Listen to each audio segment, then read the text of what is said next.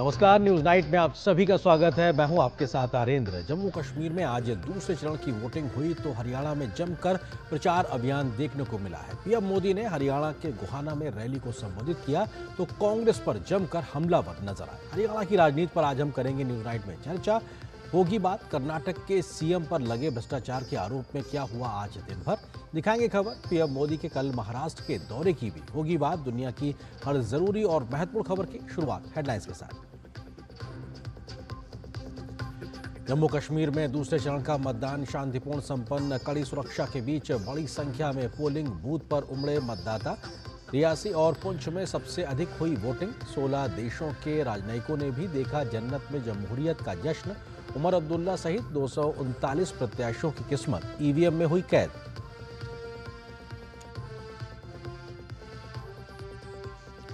विस्थापित कश्मीरियों के लिए जम्मू, उधमपुर और दिल्ली में बनाए गए विशेष मतदान केंद्र। विस्थापित कश्मीरियों ने बढ़ चढ़कर किया मतदान। 10 साल बाद हो रहे चुनाव को लेकर दिखा खासा उत्साह। पीएम मोदी ने लोकतंत्र में बढ़ चढ़कर हिस्सा लेने के लिए जम्मू कश्मीर के मतदाताओं को दिया धन्यवाद।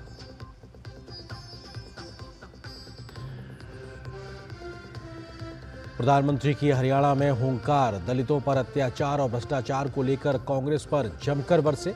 कहा, कांग्रेस ने हरियाणा को कर दिया था दलालों और दामादों के हवाले। बीजेपी ने दिया भ्रष्टाचार मुक्त शासन, कांग्रेस आई तो प्रदेश को कर देगी बर्बाद।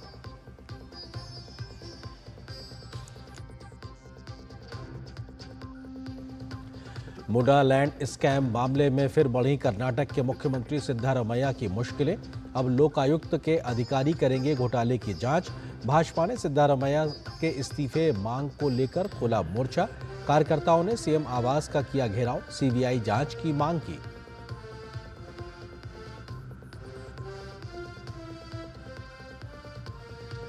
पंडित दीनदयाल उपाध्याय की 108वीं जयंती। उपराष्ट्रपति जगदीप धनखड़ ने सीकर में दीनदयाल जी की प्रतिमा का किया अनावरण।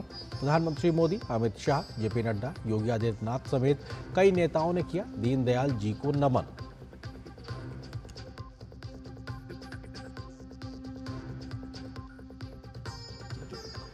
भारत में अर्थव्यवस्था को गति देने और स्वदेशी निर्माण को बढ़ावा देने के लिए शुरू किए गए अभियान मेक इन इंडिया की दसवीं वर्षगांठ आज प्रधानमंत्री ने देशवासियों को दी हार्दिक बधाई। कहा, हमारे देश को विनिर्माण और नवाचार का केंद्र बनाने के लिए 140 करोड़ भारतीयों के सामूहिक संकल्प को दर्शाता है मेक इन इंडिया।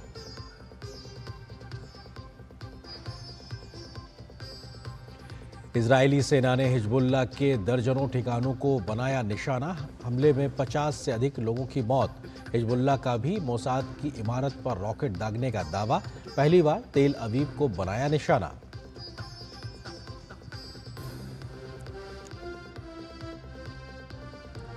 शतरंज ओलंपियाड में इतिहास रचने वाले भारतीय धुरंधरों से प्रधानमंत्री मोदी ने की मुलाकात। देश की झोली में पहली बार स्वर्ण पदक लाने वाले चैंपियंस को दी जीत की बधाई।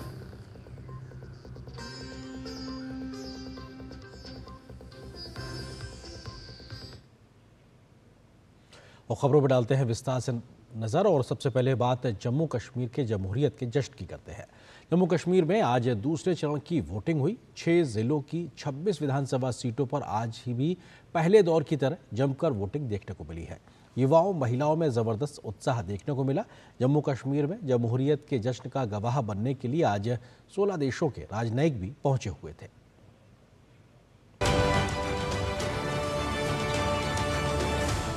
जम्मू कश्मीर विधानसभा चुनाव के दूसरे चरण के लिए 26 विधानसभा सीटों पर मतदान हुआ। मतदान सुबह सात बजे से शाम छह बजे तक चला। स्वतंत्र निष्पक्ष और सुचारू मतदान सुनिश्चित करने के लिए वेबकास्टिंग सुविधा के साथ एक हज़ार छप्पन शहरी और 2,446 ग्रामीण सहित 3,502 मतदान केंद्र स्थापित किए गए हैं। इस चरण में पूर्व मुख्यमंत्री उमर अब्दुल्ला जेके पीसीसी अध्यक्ष तारिक हामिद कर्रा और बीजेपी जम्मू कश्मीर प्रमुख रविंदर रैना अल्ताफ बुखारी सहित दो सौ उनतालीस उम्मीदवारों की किस्मत दाव पर है। दूसरे चरण में जम्मू के रियासी राजौरी और पुंछ और कश्मीर घाटी में श्रीनगर और बड़गाम ज़िले में वोट डाले गए। 15,500 से अधिक कश्मीरी प्रवासी मतदाताओं के लिए जम्मू उधमपुर और दिल्ली में 24 विशेष मतदान केंद्र बनाए गए थे। यहाँ बड़ी संख्या में विस्थापित कश्मीरियों ने अपने मताधिकार का प्रयोग किया। शांतिपूर्ण और निष्पक्ष चुनाव के लिए प्रशासन की तरफ़ से भी सुरक्षा के पुख्ता बंदोबस्त किए गए थे। श्रीनगर में मतदान के लिए लोगों में गजब का उत्साह नज़र आ रहा था। श्रीनगर की जातिबल विधानसभा में तो लोग वोट डालने, शिकारा और नाव के सहारे पोलिंग बूथ थका रहे थे। यूनिस भाई इतनी मशक्कत करके आप यहाँ वो बूथ तक आए हैं लग रहा है कि अब लोगों का डेमोक्रेसी में लोकतंत्र में विश्वास है और अपनी नई सरकार चुनने जा रही है I hope so. Everything will be okay. That will be good. कैसा लग रहा है दस साल बाद वोट कास्ट करके आप शायद पहली बार वोट कास्ट कर होंगे Exactly. Ji. We are first time. Mr. Junaid Matu. Ji. We are trying to do it. Best for them. मतदान को लेकर मतदाता बेहद उत्साहित नज़र आए और उन्होंने आने वाली सरकार से काफ़ी उम्मीदें भी जताई। मेरा फ़र्स्ट टाइम वोट है यहाँ पे। मैं स्पेशली दिल्ली से आई हूँ यहाँ पे वोट मतलब ऑप्ट करने के लिए और इतने टाइम बाद वोट हो रहा है यहाँ पे मतलब इलेक्शन हो रहे हैं। तो मैं चाहती हूँ एक अच्छी सरकार आए। जम्मू कश्मीर में हो रहे दूसरे चरण का चुनाव देखने के लिए कई देशों के वरिष्ठ राजनयिकों का एक उच्च स्तरीय प्रतिनिधि मंडल बडगाम क्षेत्र के एक मतदान केंद्र पर पहुँचा। इस दौरे का उद्देश्य घाटी में चुनावी प्रक्रिया के शांतिपूर्ण संचालन और लोगों की बड़े पैमाने पर लोकतांत्रिक प्रक्रिया में भागीदारी को प्रदर्शित करना था। चुनाव आयोग ने आज जम्मू कश्मीर के दूसरे चरण के चुनाव के दौरान हो रहे मतदान का निरीक्षण किया। वो इलाके भी हैं जहाँ पहले कभी वोटिंग नहीं हुआ करती थी डिफरेंट किस्म की कॉल आया करती थी। और ऊँचे ऊँचे दरख्त भी हैं पहाड़ियाँ भी हैं चिनार भी है हर एक जगह में। ऐसी जगहें भी हैं जहाँ खतरों के संकेत दिया करते थे। और आप देखेंगे अभी कि उन सब जगहों में किस तरीके से एंथुजियास्टिकली लोगों की वोटिंग हो रही है। कटरा विधानसभा के मतदान केंद्रों पर मतदाताओं की खासी भीड़ देखने को मिली। इस बार का चुनाव डेवलपमेंट को लेकर चल रहा है। जिस तरह 2014 के बाद पहली बार जम्मू कश्मीर में विधानसभा के चुनाव हो रहे हैं। तो उसके चलते हुए सब वोटरों में उत्साह है। 370 टूटने के बाद देखो आपने हज़ारों यात्री लाखों मिली एक करोड़ यात्रा रद्द कर रही है। यात्री बड़ी श्रद्धा से आ रहा है। उग्रवाद बिल्कुल खत्म हो गया है।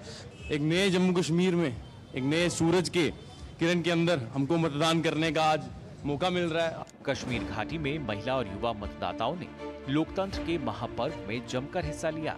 सबसे पहले आपका शुक्रगुजार हूँ कि आप इतने दूर से इस पहाड़ी एरिया में आए हो। आज तक कोई न्यूज़ वाला यहाँ नहीं पहुँचा। कभी भी नहीं हमने देखा, कोई न्यूज़ वाला देखा हमने यहाँ पे? ये पहला न्यूज़ चैनल है जो डीडी न्यूज़ यहाँ पे पहुँचा, आप कैमरा व्यू करके देखा पहाड़ी एरिया है। यहाँ पर तो कोई आज तक आता ही नहीं है। और सबसे पहले मैं ये बात बोलूँगा, ये इलेक्शन आया है, इसलिए हम सब यूथ, ये सब जवान, सब माए बहनें यहाँ वोट डालने के लिए ये बदलाव चाहते हैं। आर्टिकल 370 हटने के बाद मतदान के लिए लोगों में जो उत्साह और जोश दिखाई दे रहा है, वह स्पष्ट करता है कि जम्मू कश्मीर के लोग लोकतंत्र में अपना विश्वास, अपना भरोसा जता रहे हैं। श्रीनगर से रमा त्यागी, निशांत राय के साथ जम्मू से धीरज और आमरेंज की रिपोर्ट। तो जम्मू कश्मीर में दूसरे चरण की आज वोटिंग हुई है और शाम करीब पाँच बजे तक का जो अंतरिम आंकड़ा है वो है चौवन दशमलव एक एक फ़ीसदी, जो कि वोटिंग हुआ। हालाँकि ये अंतिम आंकड़े नहीं है। इसके बारे में चुनाव आयोग के द्वारा बाद में जानकारी साझा की जाएगी। अब बात हरियाणा की करते हैं। प्रधानमंत्री नरेंद्र मोदी ने कांग्रेस को दलितों और पिछड़ों के हक को छीनने वाली पार्टी बताया है। हरियाणा के सोनीपत में चुनावी रैली में पीएम मोदी ने कांग्रेस को जमकर घेरा। पीएम मोदी ने हुड्डा सरकार के समय हरियाणा में होने वाले दलितों पर अत्याचार का मुद्दा भी उठाया तो कांग्रेस पर आरक्षण विरोधी होने का आरोप लगाया। पीएम मोदी ने 10 सालों में डबल इंजन की सरकार द्वारा हरियाणा में किए गए कामों को गिनाया तो किसानों, युवाओं, महिलाओं के साथ औद्योगिक विकास के आंकड़े भी जनता के सामने रखे।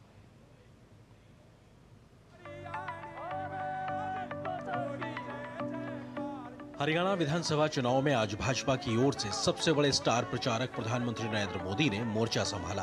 पीएम मोदी ने बीजेपी की डबल इंजन सरकार द्वारा बीते 10 साल में हरियाणा में किए गए कामों को गिनाया तो कांग्रेस पर जमकर बरसे। पीएम मोदी ने सोनीपत में चुनावी रैली को संबोधित करते हुए कांग्रेस की पूर्ववर्ती हुड्डा सरकार पर दलितों के खिलाफ काम करने का आरोप लगाया। पीएम मोदी ने कहा कि कांग्रेस सरकार के समय हरियाणा में दलितों पर अत्याचार होते थे जिसे कांग्रेस का संरक्षण प्राप्त था। जब हुडा जी यहाँ सीएम हुआ करते थे, तब ऐसा कोई साल नहीं था जब दलितों के साथ अन्याय नहीं होता था। अनेक दलितों को जान से हाथ धोना पड़ा। दलित परिवारों की बहु बेटियों पर अत्याचार होते थे। हर कोई जानता था कि दलितों के खिलाफ इस घिनौने खेल को कांग्रेस ही खाद पानी देती है।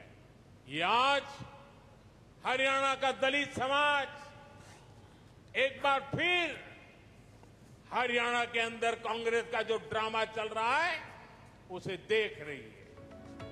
बीते दिनों दलित कांग्रेस नेता कुमारी शैलजा पर कांग्रेस के बड़े नेताओं द्वारा की गई अपमानजनक बातों पर इशारों में ज़िक्र करते हुए पीएम मोदी ने कहा कि कांग्रेस में दलितों का अपमान होता है।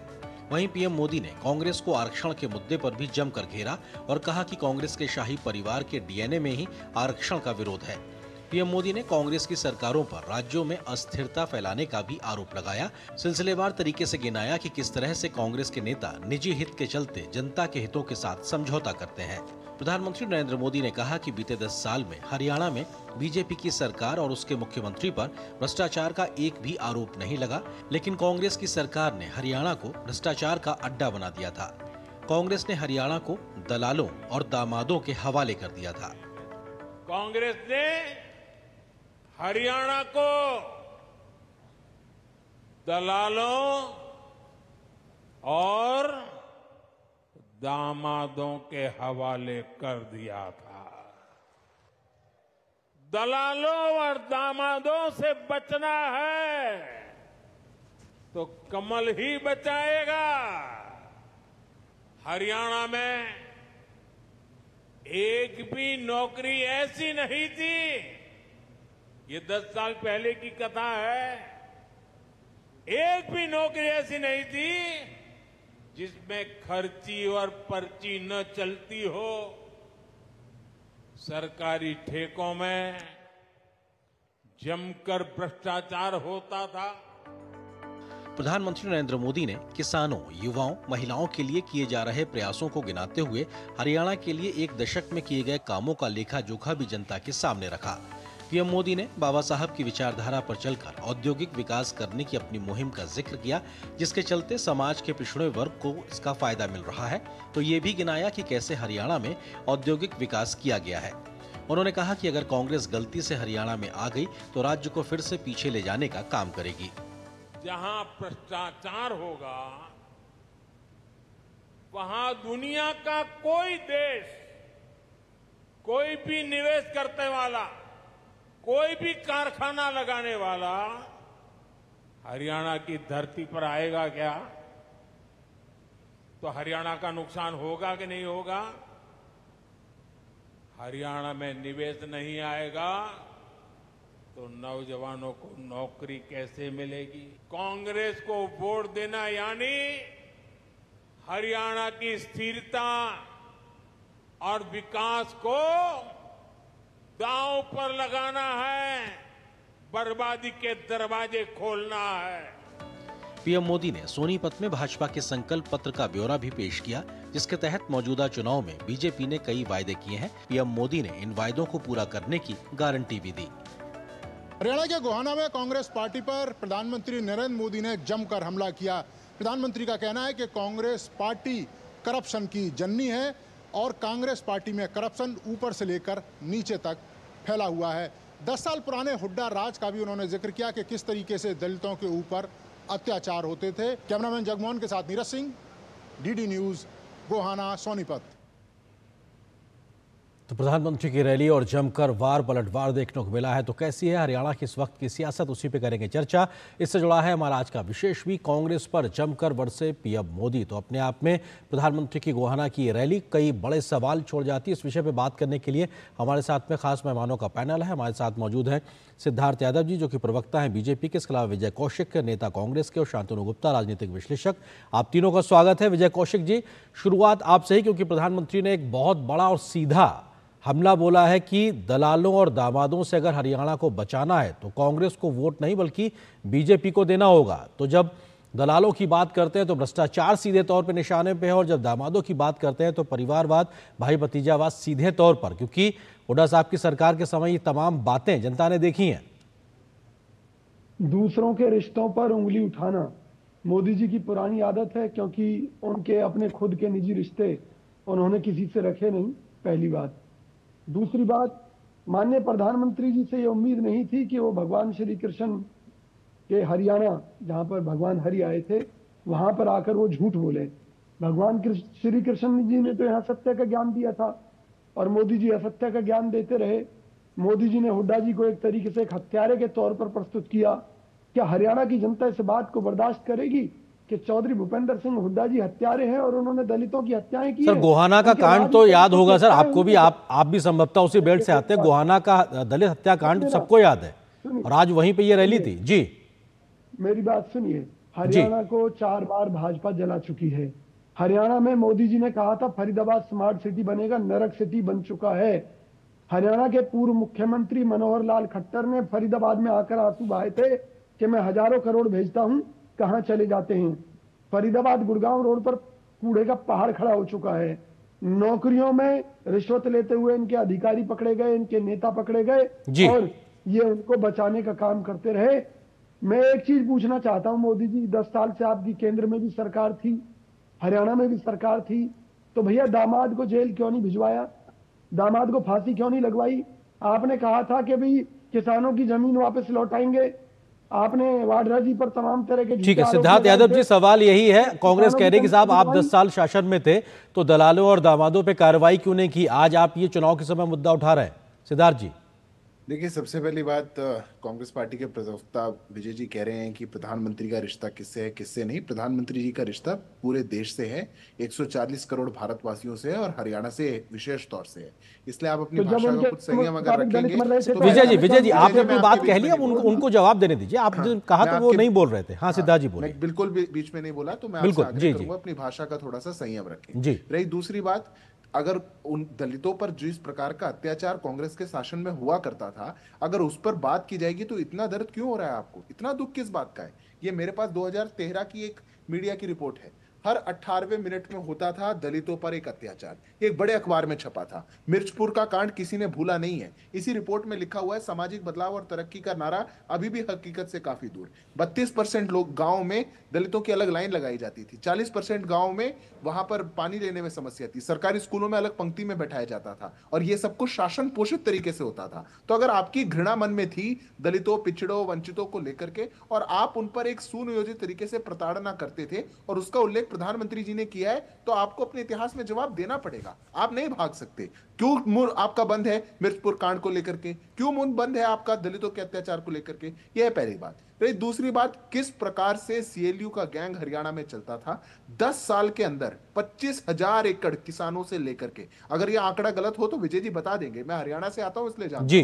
पच्चीस हज़ार एकड़ किसानों से लेकर के इंडस्ट्रीज़ में दमादों को बांटने का काम किया। अब दमाद कई थे, समस्या ये है। हुड्डा जी ने अपने दमाद को खुद को दिए सात पेट्रोल पंप। एक दमाद इनका राष्ट्रीय दमाद था। एक दमाद इनके और नेताओं के दमाद थे। अब सब दमादों को और दलालों की सरकार आप चलाएँगे और सफ़ेद चिट्टे कुर्ते वाले अगर खर्ची पर्ची लेकर के प्रदेश को चलाने का काम करेंगे तो उसको हरियाणा की जनता भूलेगी नहीं। इसलिए इतना दुख मत बनाइए कि अगर आपके राज को ऐसा खोल दिया जा रहा है या सामने कहा जा रहा है क्योंकि जनता ये जानती है। इसलिए मेरा आग्रह बस इतना है कांग्रेस पार्टी अपनी इस बात को समझ के चले जो। कुशासन का काल उनका था हरियाणा की जनता उसको ठीक है जनता जानती है शांतनु जी ये बहुत ज़रूरी है कि अगर 10 साल का इधर शासन है तो उससे पूर्ववर्ती कांग्रेस सरकार का शासन भी जनता को याद होगा।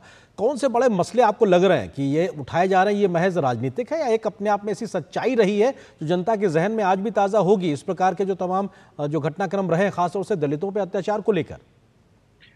जी, आपने ठीक कहा। देखिए, मैं हरियाणा को इस तरह से देखता हूँ। भाजपा के लिए वो एक ट्रेडिशनल स्टेट नहीं है। भाजपा केवल दस साल से वहाँ पे काबिज है।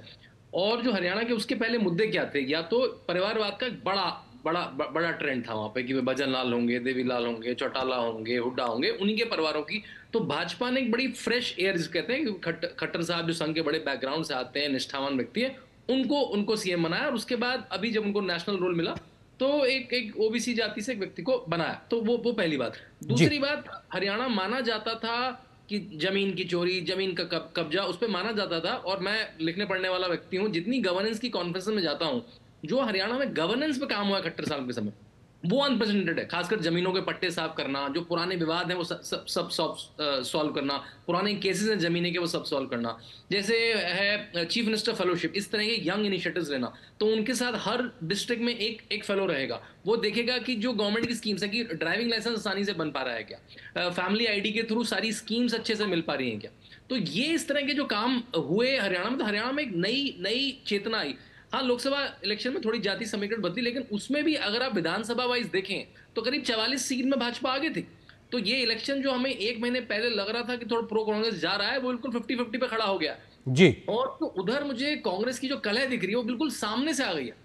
उस पर पोस्टर बाजी उस पर सोशल मीडिया में कोई कोई कहता है कि मैं सुरजेवाला जी का फ़ैन हूँ कोई कहता है हुड्डा जी का फ़ैन हूँ मैं कुमारी शैलजा जी का फ़ैन हूँ। मेरे ख्याल से अगर मैं कांग्रेस का कंसल्टेंट होता तो उनको कहता भाई आप कुमारी शैलजा आपके लिए बड़ा नाम है।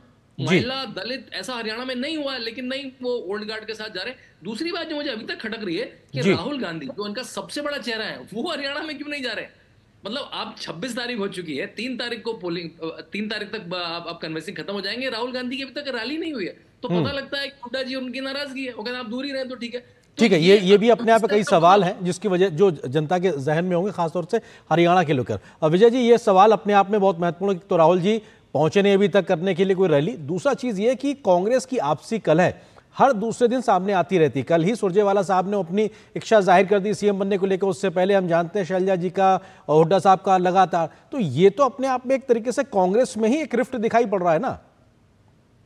पहली बात कांग्रेस में कहीं कोई मतभेद नहीं है। सूरजेवाला जी की निजी इच्छा है।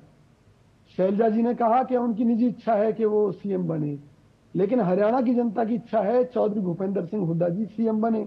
हम्म। इसमें किसी को कोई ऐतराज नहीं है न सूरजेवाला जी को न शैलजा जी को। अब हुड्डा जी हुड्डा जी तो कह रहे थे कि विधायक तय करेंगे बाद में।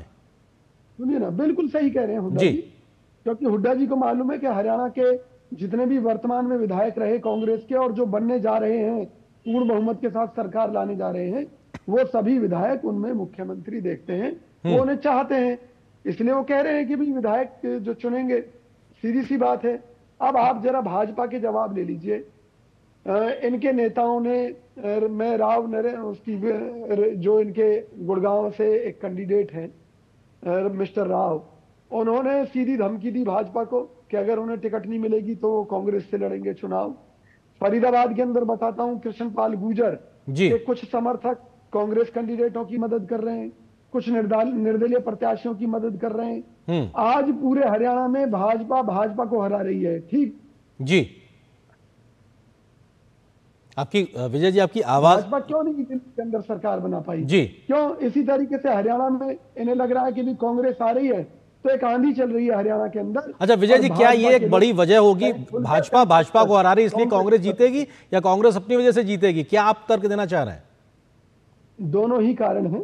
जी। भाजपा भाजपा को हरा रही है इसलिए भी हम जीतेंगे। जी। दूसरा दस साल के इनके कुशासन से जनता तंग हो चुकी है इसलिए इन्हें बार बार प्रधानमंत्री जी तो कह रहे थे कोई एक बड़ा भ्रष्टाचार का आरोप कांग्रेस ने नहीं लगा पाया दस साल के शासन में। कोई एक बड़ा कोई घटला घपला घोटाला ऐसा कुछ हुआ ही नहीं है। प्रधानमंत्री सीधे बोल के गए बता देता हूँ।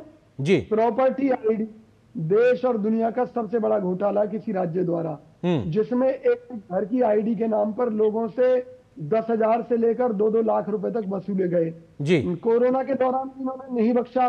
सरकारी गोदाम की दीवार तोड़कर जिसमें शराब तस्करी की जितनी भी शराब थी बंद थी वो पूरे हरियाणा भर में बेची गई। करोड़ों के घोटाले।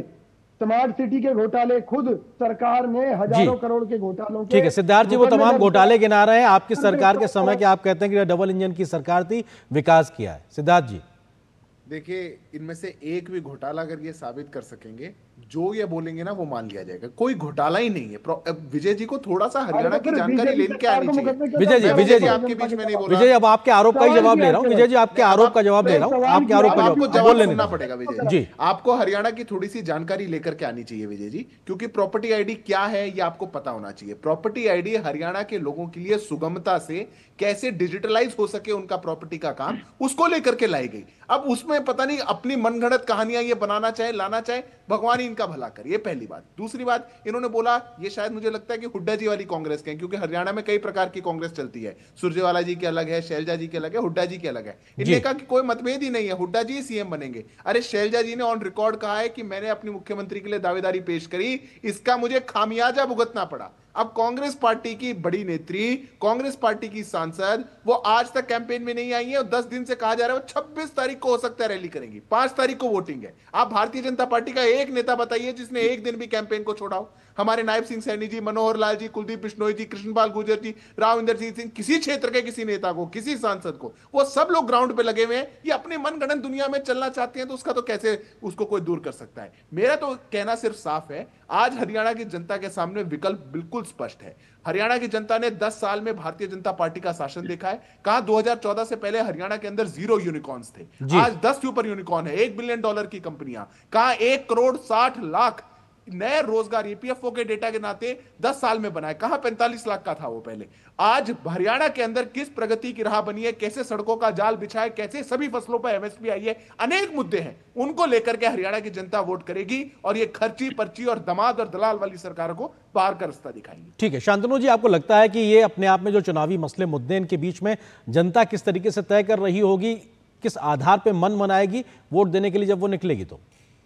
देखिए एक तो मैं देखता हूँ कि दोनों के फेवर में क्या है दोनों के अगेंस्ट में क्या है। भाजपा के जो अगेंस्ट में है कि उनकी एंटी इनकमेंसी है दस साल की लेकिन भाजपा के लिए नया प्रदेश है। भाजपा एक तरह से हरियाणा के लिए नया प्रयोग भी है जो कांग्रेस की अपनी एंटी इनकमेंसी है, वो भी बढ़ी है। लेकिन हरियाणा के जो अनसॉल्व मुद्दे थे, वो बहुत सॉल्व हुए हैं पिछले दस साल में। जैसे अभी प्रॉपर्टी आईटी की बात करी, मैं अभी पाँच छह महीने पहले एक यूपी की मतलब कॉन्फ्रेंस में था दिल्ली की इसमें यूपी के कई इनोवेशन को अवार्ड मिलने जा रहा था। वहाँ प्रॉपर्टी आईटी के इनोवेशन को अवार्ड दिया जा रहा था बड़े कॉन्फ्रेंस में। क्योंकि हरियाणा में प्रॉपर्टी के मामले बहुत बहुत बुरे थे। हरियाणा में अगर सौ केस फ़ाइल होते तो उसमें सत्तर प्रॉपर्टी के विवाद थे। तो प्रॉपर्टी आईडी से उसको नीट करा गया। कि भाई आपकी प्रॉपर्टी है, उसका इस तरह के प्रयोग येदुरप्पा जी ने कर्नाटका में किए थे कि प्रॉपर्टी के टाइटल बिल्कुल नीट हो जाए। आपका टाइटल है तो आपका रहे उसमें कोई विवाद ना रहे। आप उसे इंटरनेट से निकालना है, आपको एक आईडी जैसे आधार की तरह मिल जाए और उसमें बिल्कुल पता लग जाए कि वो आपके आधार से जुड़ी है। तो वो तो बहुत अच्छा प्रयोग है, उसे गवर्नेंस में कई उसकी केस स्टडी बन रही है। आप कह रहे हैं वो घोटाला है। तो मेरे ख्याल से पहले हरियाणा को समझना चाहिए। हरियाणा छोटा सा प्रदेश है, उसमें जो गवर्नेंस के काम हुए हैं, मेरे ख्याल से उस पर अगर वोट पड़ा तो भाजपा को हराना मुश्किल होगा। बिल्कुल तो ये अपने आप में तय करना होगा जनता को कि आखिर किस मसले पे वो तय करके जाएगी। फ़िलहाल अपने आप में देखना दिलचस्प होगा कि हरियाणा की जनता तय क्या करती है। वक्त इतना ही, आप तीनों मेहमानों का बहुत शुक्रिया हमारे साथ जुड़ने के लिए, इस विषय पर विस्तार से बात करने के लिए। बहुत शुक्रिया आप तीनों का। और यहाँ पर एक छोटे से ब्रेक के लिए रुकते हैं। बहुत जल्द हाजिर होते हैं कुछ और महत्वपूर्ण खबरों से आपको रूबरू कराएँगे। एमडीएच का किचन किंग किचन में हो तो हम सब कुछ बना सकते हैं। बैंगन का भरता, आलू गोभी, भिंडी मसाला और भी बहुत कुछ। सारी छुरिया भर देती हैं। दीवार हम बार कर देती हैं। तो पुट्टी भर ले हाँ पुट्टी भर ले। वंडर वॉल पुट्टी दे एक परफेक्ट फिनिश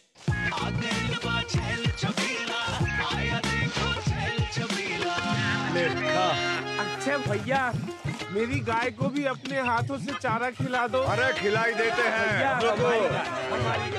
हमारी गाय हमारी गाय भैया।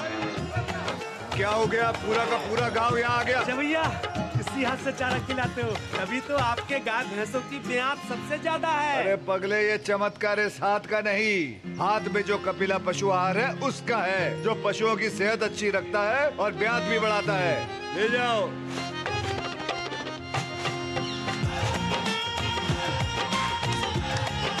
कपिला देश का नंबर वन पशु आहार।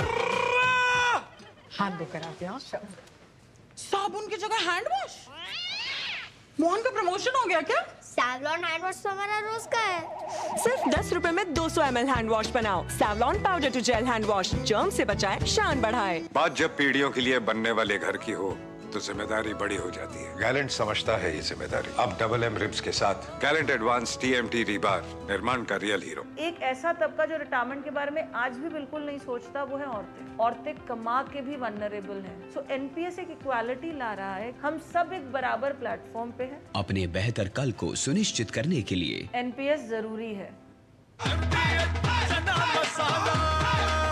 अब छोलिया हो या लोबिया सफ़ेद चने या काले चने? सब कुछ मज़ेदार बने। और ब्रेक के बाद अब खबर कर्नाटक से। कर्नाटक के चर्चित मुंडा लैंड स्कैम मामले में मुख्यमंत्री सिद्धारमैया को एक और बड़ा झटका आज लगा है। कर्नाटक हाईकोर्ट से उनकी याचिका खारिज होने के बाद अब बेंगलुरु की विशेष अदालत ने सिद्धारमैया के खिलाफ जाँच का आदेश दिए हैं।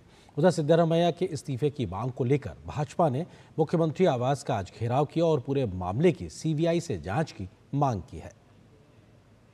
कर्नाटक में उनकी सरकार है। जरा देखिए, अभी तो दो साल हुए हैं, क्या हाल करके रखा है? वहाँ कांग्रेस के मुख्यमंत्री, उन पर ज़मीन घोटाले के आरोप लगे हैं। जब इसकी जाँच शुरू हुई तो कर्नाटका के मुख्यमंत्री हाईकोर्ट चले गए। हाईकोर्ट ने भी उनको एक और डंडा मारा। उन्होंने कहा, कोई मदद नहीं होगी। और कल ही हाईकोर्ट ने साफ़ साफ़ कहा कि जाँच के आदेश सही है और जाँच होनी चाहिए।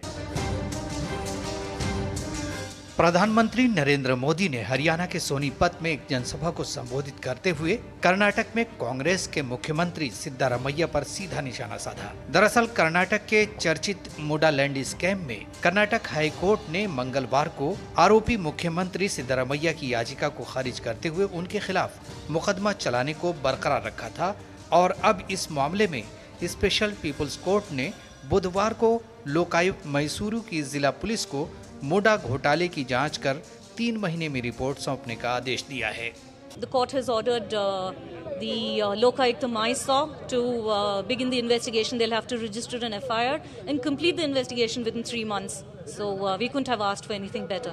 वहीं भाजपा ने सिद्धारमैया के इस्तीफे की मांग को तेज करते हुए मोर्चा खोल दिया है बेंगलुरु में भाजपा कार्यकर्ताओं ने मुख्यमंत्री सिद्धारमैया के आवास का घेराव कर विरोध प्रदर्शन किया सिद्धारमैया के इस्तीफे की मांग कर रहे प्रदर्शनकारियों को पुलिस ने हिरासत में ले लिया। भाजपा ने बेंगलुरु की विशेष अदालत के ज़रिए कर्नाटक लोकायुक्त के सक्षम प्राधिकारी द्वारा सीएम सिद्धारमैया के खिलाफ जाँच का आदेश दिए जाने का स्वागत करते हुए इस पूरे मामले की सीबीआई जाँच की मांग की है। Siddaramaiah who is a powerful chief be a fair investigation in this Muda scandal. So I demand Chief Minister Sidramaya, before tender, tendering his resignation, because he is bound to resign from the CM's post by today or tomorrow. So I demand Chief Minister Sidramaya to hand over the investigation to Central Bureau of Investigation CBI. मुख्यमंत्री सिद्धारमैया के खिलाफ court द्वारा जाँच के आदेश से कर्नाटक की कांग्रेस सरकार back foot पर है Investigation has been ordered by the court. Let investigation take up. There are charge sheet against uh, various ministers, MLAs of BJP government also in the entire country. Why they are not demanding the resolution of them? दरअसल मंगलवार को Karnataka high court ने मोडालैंड scam मामले में सिद्धारमैया की उस याचिका को खारिज कर दिया था जिसमें उन्होंने कर्नाटक के राज्यपाल के उस आदेश को चुनौती दी थी, जिसमें उन्होंने सिद्धारमैया के खिलाफ आरोपों की जाँच की अनुमति दी थी। अब विशेष कोर्ट द्वारा जाँच के आदेश से मुख्यमंत्री सिद्धारमैया की मुश्किलें और बढ़ गई हैं। Bureau report, DD news. वक्फ संशोधन विधेयक मामले में जेपीसी को एक करोड़ फीडबैक मिलने पर भाजपा सांसद और जेपीसी के सदस्य निशिकांत दुबे जाँच की मांग की है। भाजपा सांसद ने जेपीसी अध्यक्ष जगदम्बिका पाल को पत्र लिखकर फीडबैक के स्रोतों की जाँच में कट्टरपंथी संगठनों, जाकिर नाइक जैसे व्यक्तियों और आईएसआई और चीन जैसी विदेशी ताकतों के साथ साथ उनके प्रॉक्सी की संभावित भूमिका की भी जाँच की मांग की है। वक्फ संशोधन विधेयक की जाँच कर रही संसदीय समिति को करीब सवा करोड़ फीडबैक मिलने पर भाजपा सांसद और समिति के सदस्य निशिकांत दुबे ने चिंता जताई है। भाजपा सांसद ने वक्फ बिल की जाँच कर रही समिति के अध्यक्ष जगदम्बिका पाल को इसे लेकर पत्र लिखा है। निशिकांत दुबे ने अपने पत्र में कहा कि यह जानना ज़रूरी है कि क्या विदेशी संस्थाएँ, संगठन और व्यक्ति जानबूझकर हमारी लोकतांत्रिक प्रक्रिया में हेरफेर करने के लिए इतनी बड़ी संख्या में फीडबैक भेज रहे हैं। भारत एक मज़बूत संसदीय प्रणाली वाला देश है और इस तरह एकजुट होकर विदेशी हस्तक्षेप के माध्यम से इसे प्रभावित करने का कोई भी प्रयास राष्ट्रीय संप्रभुता के लिए सीधा खतरा है। इन फीडबैक के एक बड़े हिस्से की सामग्री एक जैसी है या इसमें मामूली बदलाव हैं, जिससे संकेत मिलते हैं कि इनमें से कई फीडबैक एक संगठित अभियान का हिस्सा हो सकते हैं। इस्लामी कट्टरपंथी संगठन की भूमिका की ओर इशारा करते हुए उन्होंने कहा कि ये समूह अक्सर बाहरी शक्तियों द्वारा वित्त पोषित या उनके प्रभाव में होते हैं, जो भारत को धार्मिक आधार पर विभाजित करना चाहते हैं। ये लोग भारत के लोकतंत्र को अस्थिर करना चाहते हैं और हमारी विधायी प्रक्रियाओं को बाधित करना चाहते हैं। उन्होंने कहा, इस बात पर शक करने की वजह यह है कि ये तत्व वक्फ विधेयक पर विचार विमर्श का लाभ उठाकर मतभेद पैदा कर रहे हैं और जनमत का ध्रुवीकरण कर रहे हैं। ये प्रयास कट्टरपंथी समूहों द्वारा हमारे देश में संवेदनशील मुद्दों में हेरफेर करने की व्यापक रणनीति का हिस्सा हैं। उन्होंने लिखा कि कट्टरपंथी इस्लामवादी प्रचारक जाकिर नाइक, पाकिस्तानी जासूसी एजेंसी आईएसआई चीन और जमात इस्लामी बांग्लादेश और तालिबान जैसे कट्टरपंथी संगठनों जैसी विदेशी शक्तियों के प्रभाव को कम करके नहीं आका जा सकता। ये तत्व लंबे समय से भारत को अस्थिर करने और इसके लोकतंत्र को कमज़ोर करने की साजिश रच रहे हैं। वहीं संसदीय मामलों के मंत्री किरेन रिजिजू ने कहा कि जेपीसी को बड़ी संख्या में मिलने वाले फीडबैक को जांचना चाहिए। हालाँकि उन्होंने कहा कि सरकार फ़िलहाल जेपीसी के मामले में दखल नहीं देगी। जेपीसी से हमने अभी रिपोर्ट लिया नहीं है। ये जेपीसी के अंदर में क्या हो रहा है, वो मैं अंदर जाकर के छानबीन नहीं करूँगा, क्योंकि वो हम नहीं कर सकते हैं। हमने जेपीसी बनाया और JPC could empowered joint parliamentary committee है। उनके रिपोर्ट आने के बाद हम फिर देखेंगे। बाकी बाकी जो है वो उनका अपना अंदर का बात है। गौरतलब है कि वक्फ संशोधन विधेयक का कुछ मुस्लिम समूहों द्वारा कड़ा विरोध किया जा रहा है। उनका कहना है कि वक्फ संशोधन विधेयक के ज़रिए उनके धार्मिक मामलों में हस्तक्षेप की कोशिश की जा रही है। वहीं वक्फ कानूनों के मौजूदा स्वरूप पर कुछ मुस्लिम धर्मगुरु आपत्ति भी दर्ज कर रहे हैं। वक्फ बोर्ड पिछले सत्तर सालों में करप्शन का शिकार हुआ है। भू माफियाओं का कब्जा है। वो Muslim leadership, Muslim personal law board की, जमीयत उलमा की समाजवादी की, कांग्रेस की, वो मुस्लिम लीडरशिप, जिनका पार्टी में थोड़ा भी अपने संगठनों में दबदबा रहा उन्होंने अपने सियासी असर रसूख से वक्फ की अच्छी ज़मीनें हासिल करके भू माफियाओं की शक्ल में वो उन पर जो है अपना बैठ गए हैं। वक्फ संशोधन विधेयक का संसद में विपक्षी दलों ने भी विरोध किया था, जिसके बाद सरकार ने वक्फ विधेयक को संयुक्त संसदीय समिति के पास भेजने का फैसला किया था। संयुक्त संसदीय समिति ने वक्फ संशोधन विधेयक पर आम सहमति बनाने के लिए लोगों के फीडबैक मांगे थे और इसके लिए विज्ञापन जारी किया था। Bureau report DD news. और यहाँ पर एक छोटे से ब्रेक के लिए रुकते हैं। सारी छुर्रियाँ भर देती हैं दीवार हम बार कर देती हैं। तो पुट्टी भर ले वंडर वॉल पुट्टी दे एक परफेक्ट फिनिश दादी के हाथों का जादू और खुशबू से महकता घर। एम डी एच गर्म मसाला असली मसालों से भरा हूँ मैं। क्योंकि हर रिश्ता है स्वाद से जुड़ा। बात जब पीढ़ियों के लिए बनने वाले घर की हो तो ज़िम्मेदारी बड़ी हो जाती है। गैलेंट समझता है ये ज़िम्मेदारी। अब डबल एम रिब्स के साथ। गैलेंट एडवांस टीएमटी रीबार निर्माण का रियल हीरो अरे वाह लेजेंड की इससे तो मैं खेलूँगा। फ्यूचर बैटिंग लेजेंड है। इसमें जिसका नाम लिखा है? बैट उसी को मिलेगी। अरे यार। देखा अगर इस पे मेरा नाम नहीं लिखा होता तो कितनी दिक्कत हो जाती। इसलिए आरबीआई कहता है बैंक अकाउंट हो या बैंक लॉकर उसमें नॉमिनी का नाम ज़रूर दर्ज करें ताकि आपकी जमा पूंजी उसी को मिले जिसे आपने नामित किया है। आरबीआई कहता है जानकार बनिए सतर्क रहिए। ज़िंदगी की हर छोटी बड़ी ज़रूरत के लिए आप जो सपने सजाते हैं बस उसी उम्मीद को तो हम सहारा लगाते हैं। एसआईपी आपकी सेविंग्स को आपकी खातिर काम पर लगाएगी। आज ही अपनी पहली एसआईपी की शुरुआत करें अधिक जानकारी के लिए अपने वित्तीय सलाहकार से परामर्श करें एल म्यूचुअल फंड द्वारा निवेशक शिक्षा की एक पहल म्यूचुअल फंड निवेश बाज़ार के जोखिम के अधीन है योजना से संबंधित सभी दस्तावेजों को ध्यान से पढ़ें। बेटियाँ घर की रौनक हैं। बेटियाँ घर संवारती हैं। बेटियाँ पीढ़ियाँ सजाती हैं। बेटियाँ घर की बुनियाद कहलाती हैं बेटियों को सलाम करता है मोंगिया स्टील। स्टील का बादशाह। गोल्डी मसाले के 100 ग्राम के स्पेशल पैक्स में फ्रेशनेस लॉक ऐसे गोल्डी मसाले जहाँ जाए रिश्ते बनाए। सारी छुर्रियाँ भर देती हैं दीवार हम वार कर देती हैं। तो पुट्टी भर ले हाँ पुट्टी भर ले। वंडर वॉल पुट्टी दे एक perfect finish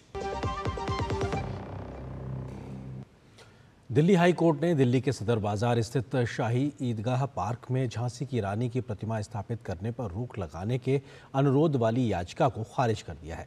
क्या है ये पूरा मामला? बता रहे हैं हमारे संवाददाता गिरीश निशाना। दिल्ली के सदर बाज़ार के शाही ईदगाह पार्क में झांसी की रानी की मूर्ति लगाने की इजाज़त देने वाले दिल्ली हाई कोर्ट के सिंगल जज के फैसले को चुनौती देने वाली याचिका को दिल्ली हाई कोर्ट की डबल बेंच ने खारिज किया।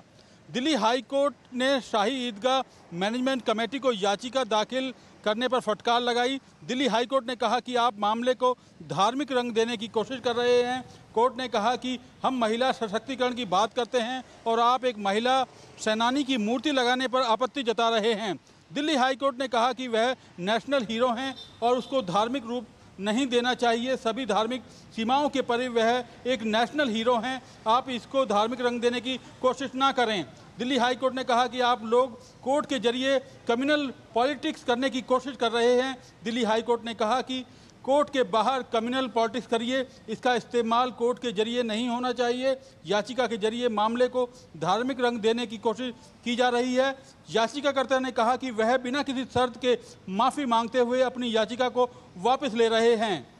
दिल्ली हाई कोर्ट ने शाही ईदगाह मैनेजमेंट कमेटी को गुरुवार तक माफ़ी नामा दाखिल करने का निर्देश दिया है। कैमरामैन सौरभ शुक्ला के साथ गिरीश निशाना, डीडी न्यूज़, दिल्ली। प्रधानमंत्री नरेंद्र मोदी कल पुणे का दौरा करेंगे। इस यात्रा के दौरान वह एक जनसभा को वहाँ संबोधित करेंगे और एक नए भूमिगत मेट्रो कॉरिडोर का उद्घाटन भी करेंगे। इसके अलावा प्रधानमंत्री बाईस हज़ार छह सौ करोड़ रुपए से अधिक की लागत वाली विभिन्न परियोजनाओं का उद्घाटन और शिलान्यास भी करेंगे। मोदी सरकार द्वारा पुणे में बुनियादी ढांचे को मज़बूत करने का काम जारी है। इसी क्रम में प्रधानमंत्री गुरुवार को सिविल कोर्ट से स्वारगेट तक नए भूमिगत मेट्रो कॉरिडोर का उद्घाटन करने के साथ और एक नए मेट्रो मार्ग की आधारशिला भी रखेंगे। पुणे महाराष्ट्र का दूसरा सबसे बड़ा शहर है, जहाँ पिछले एक दशक में कई स्तरों पर परिवर्तन और बदलाव की बयार चली है। पुणे मेट्रो की अगर बात करें तो यह इन सारे जो विकास की जो गतिविधियाँ हुई है, उनका एक प्रतिबिंब है। ऐसा माना जा रहा है कि पुणे के में जो नई लाइन होगी मेट्रो की, चाहे वो नए ट्रैक्स हों, वो इस वक्त समय की मांग है और इसी मांग को पूरा करने के लिए प्रधानमंत्री पुणे आ रहे हैं। पुणे मेट्रो कई अनूठी विशेषताओं से सुसज्जित है। एल्यूमिनियम बॉडी से बनी ये देश की पहली हल्की मेट्रो है। स्टेशनों पर सौ फ़ीसदी वाटर रिसाइकल, शून्य अपशिष्ट निर्वहन, नो ट्री कटिंग पॉलिसी, सुविधाओं का एकीकरण, सौर ऊर्जा से संयंत्रों का जुड़ाव। पुणे मेट्रो की कुछ अनूठी विशेषताएँ हैं।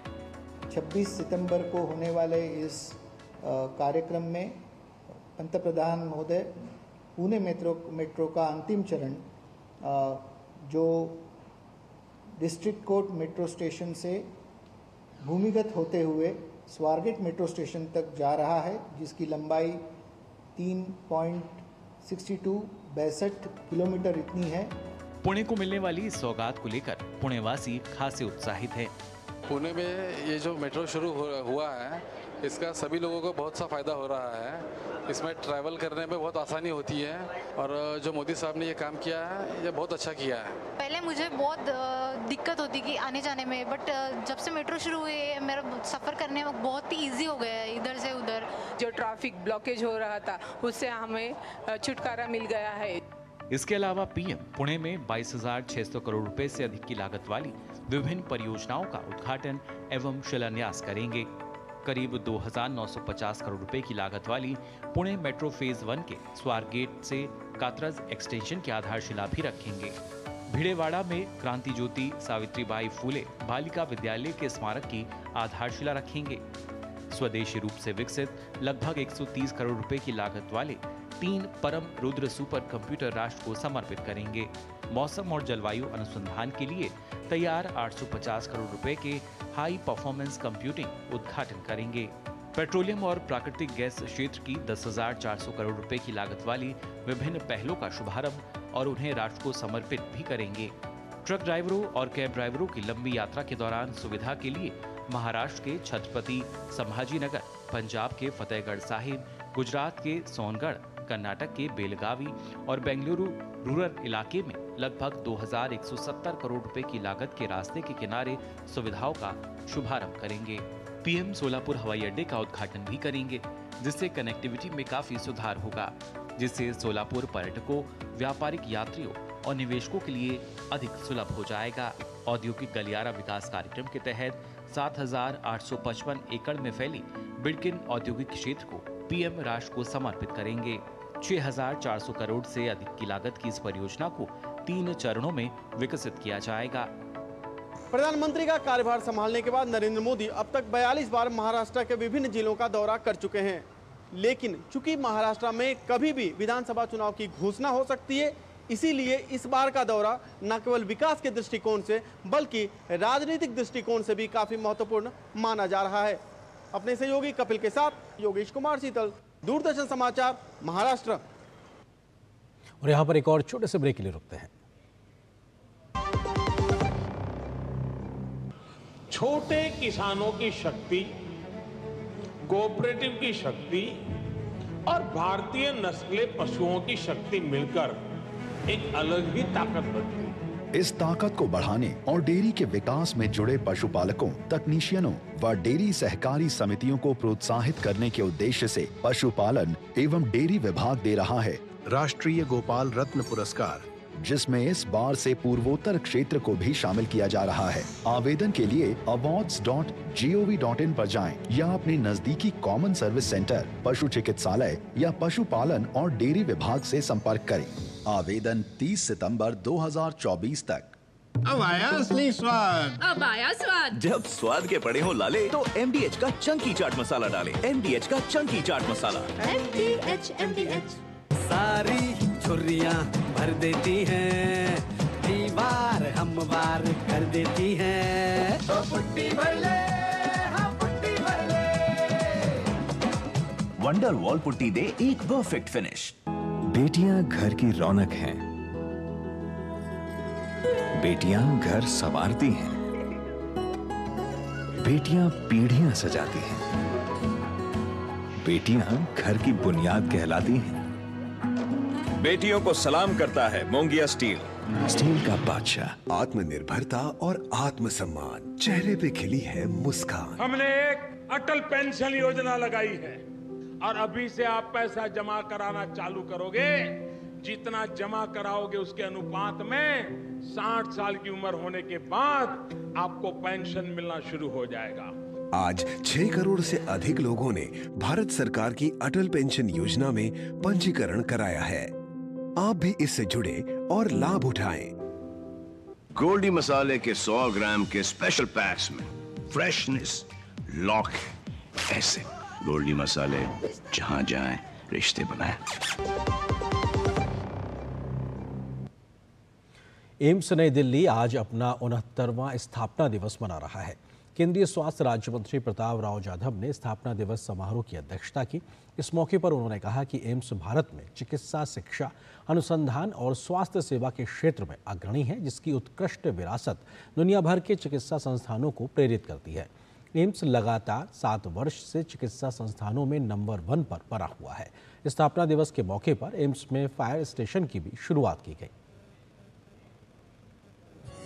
एम्स नई दिल्ली ने बुधवार को अपना उनहत्तरवा स्थापना दिवस मनाया। केंद्रीय स्वास्थ्य राज्य मंत्री प्रताप राव जाधव ने स्थापना दिवस समारोह की अध्यक्षता की। स्वास्थ्य राज्य मंत्री ने इस मौके पर एम्स में लगी प्रदर्शनी का भी अवलोकन किया। स्वास्थ्य राज्य मंत्री ने कहा कि भारत में चिकित्सा, शिक्षा, अनुसंधान और स्वास्थ्य सेवा के क्षेत्र में अग्रणी है। उन्होंने कहा कि एम्स लगातार सातवें वर्ष चिकित्सा संस्थानों में नंबर वन बना हुआ है, जो एक बड़ी उपलब्धि है। स्वास्थ्य राज्य मंत्री ने एम्स में फायर स्टेशन का भी उद्घाटन किया। किसी भी चिकित्सा संस्थान में ये पहला फायर स्टेशन है।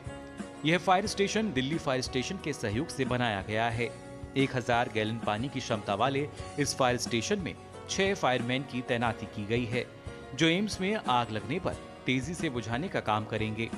यहाँ के समर्पित डॉक्टरों, नर्सों, शोधकर्ताओं और कर्मचारियों ने हमारे नागरिकों के स्वास्थ्य और कल्याण को सुनिश्चित करने के लिए अथक प्रयास किए हैं।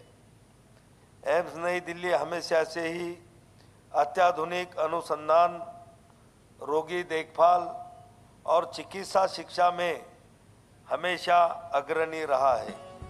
एम्स नई दिल्ली अब केंद्रीय स्वास्थ्य मंत्रालय के राष्ट्रीय मेडिकल कॉलेज नेटवर्क के राष्ट्रीय संसाधन केंद्र के रूप में कार्य करता है। बीते दो वर्षों में एम्स में रोगी बिस्तरों में 30 फ़ीसदी से अधिक की वृद्धि हुई है। गहन देखभाल और ऑपरेशन थिएटर सेवाओं में करीब 40 फ़ीसद की वृद्धि हुई है।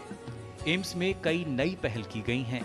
अब एम्स में एआई आधारित जाँच सुविधा उपलब्ध है एम्स में आयुष्मान भारत डिजिटल मिशन के तहत सात लाख से ज़्यादा आभा आईडी बनी है और एम्स ने नई संतुष्ट ऐप भी लॉन्च की है, जहाँ लोग सुझाव और शिकायत दोनों कर सकते हैं in line with the theme of this year's exhibition during the institute day celebration we are please to say that implementation of AI driven diagnostics robotic data analytics in predicting and preventing healthcare risks are the prime, prime examples of how AIMS is at the forefront of transforming healthcare delivery in India. बीते 10 वर्षों में देश में 22 AIIMS नए खुले हैं जहाँ विश्व स्तरीय चिकित्सा सुविधा उपलब्ध है सभी एम्स टेलीमेडिसिन की सुविधा से जुड़े हैं देश के सभी एम्स में ड्रोन की सुविधा उपलब्ध होगी ड्रोन की सुविधा से आसपास के 25 किलोमीटर के दायरे में मेडिकल सप्लाई और रिपोर्ट्स पहुंचाई जाएँगी 22 एम्स के होने से देश में मेडिकल सीटों की संख्या में वृद्धि हुई है। केंद्र सरकार ने अगले पाँच साल में पचहत्तर हज़ार नए मेडिकल सीट बढ़ाने की घोषणा की है। एम्स में पहली बार फायर स्टेशन बनाया ताकि रिस्पांस कम समय में हो। मान लिया अगर कोई आग लगता है तो जल्द से जल्द उसको काबू पाया जाए। कैमरामैन विश्व बंधु के साथ नितेंद्र सिंह डीडी न्यूज़ दिल्ली। और यहाँ पर एक और छोटे से ब्रेक के लिए रुकते हैं। बढ़िया है प्राकृतिक हल्दी मिर्ची धनिया। नहीं मिर्ची धनिया हल्दी एम डी एच सारी छुरिया भर देती है दीवार हम बार कर देती है। तो पुट्टी भर ले। वंडर वॉल पुट्टी दे एक परफेक्ट फिनिश कार तो काफ़ी डैमेज हो गई। नो प्रॉब्लम मैंने पॉलिसी बाज़ार को बुला लिया। सर कार का रिपेयर और क्लेम सेटलमेंट सब हम संभाल लेंगे। इतनी जल्दी? काफ़ी महँगा कार इंश्योरेंस लिया होगा। काफ़ी सेव किया पॉलिसी बाज़ार से। पॉलिसी बाज़ार पे कार इंश्योरेंस कंपेयर करके आठ हज़ार रूपए तक बचा बात जब पीढ़ियों के लिए बनने वाले घर की हो तो ज़िम्मेदारी बड़ी हो जाती है। गैलेंट समझता है ये ज़िम्मेदारी। अब डबल एम रिब्स के साथ gallant advance T M T rebar निर्माण का रियल हीरो किनारों पे यारी ये आज़ाद है।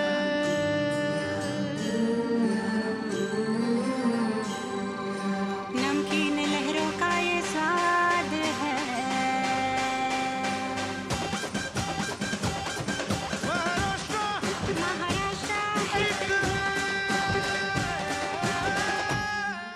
महाराष्ट्र टूरिज़्म। ज़िंदगी की हर छोटी बड़ी ज़रूरत के लिए आप जो सपने सजाते हैं बस उसी उम्मीद को तो हम सहारा लगाते हैं। एसआईपी आपकी सेविंग्स को आपकी खातिर काम पर लगाएगी। आज ही अपनी पहली एसआईपी की शुरुआत करें। अधिक जानकारी के लिए अपने वित्तीय सलाहकार से परामर्श करें। एल म्यूचुअल फंड द्वारा निवेशक शिक्षा की एक पहल। म्यूचुअल फंड निवेश बाज़ार के जोखिम के अधीन है। योजना से संबंधित सभी दस्तावेजों को ध्यान से पढ़ें। बेटियाँ घर की रौनक हैं। बेटियाँ घर संवारती हैं। बेटियाँ पीढ़ियाँ सजाती हैं। बेटियाँ घर की बुनियाद कहलाती हैं। बेटियों को सलाम करता है मोंगिया स्टील। स्टील का बादशाह। बुडापेस्ट में आयोजित हुए 45वें शतरंज ओलंपियाड में स्वर्ण पदक जीतने वाली भारतीय पुरुष और महिला टीम के सदस्यों ने प्रधानमंत्री नरेंद्र मोदी से आज अपने आवास पर मुलाकात की और उन्हें इस जीत की बधाई दी। गौरतलब है कि दमदार प्रदर्शन करते हुए भारत ने पहली बार शतरंज ओलंपियाड में महिला और पुरुष दोनों वर्गों में स्वर्ण पदक अपने नाम किया है। भारत की पुरुष टीम में डी गुकेश, आर प्रगनानंदा अर्जुन एरिगैसी, विदित गुजराती और पेंटाला हरिकृष्ण शामिल थे। इस टीम ने स्लोवेनिया को हराकर स्वर्ण पदक जीता है, जबकि महिला टीम ने हरिका द्रोणावल्ली आर वैशाली, दिव्या देशमुख, वंतिका अग्रवाल और तानिया सचदेव शामिल रहीं। भारतीय महिला टीम ने अजरबैजान को हराकर स्वर्ण पदक पर कब्जा किया। इससे पहले साल 2014-2022 में पुरुषों ने कांस्य और जबकि महिलाओं ने 2022 में कांस्य पदक जीता था। और न्यूज़ नाइट के अंत में आपको छोड़ जाते कुछ और राष्ट्रीय महत्व की खबरों के साथ। फटाफट अंदाज में आप देखिए इन खबरों को। मुझे दीजिए अनुमति। नमस्कार।